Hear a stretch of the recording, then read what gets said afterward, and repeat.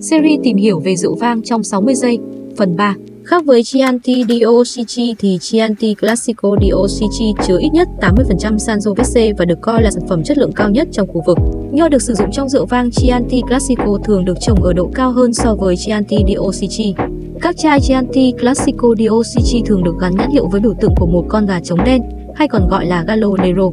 Chianti Classico DOCG bao gồm 3 phân cấp phụ. Chianti Classico Anata là loại rượu đầu tiên cũng như có chất lượng thấp nhất trong 3 phân cấp phụ của Chianti Classico.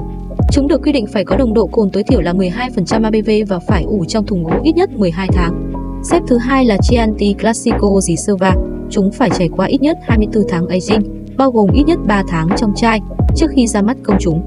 Grand Selection là cấp độ mới nhất và cao nhất trong danh hiệu Chianti Classico di DOCG.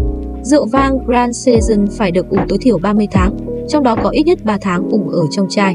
Chianti Classico Grand Selection cũng yêu cầu rượu vang phải được làm hoàn toàn từ State Grown và hội đồng thẩm định phải phê duyệt sản phẩm mới được đem ra thị trường.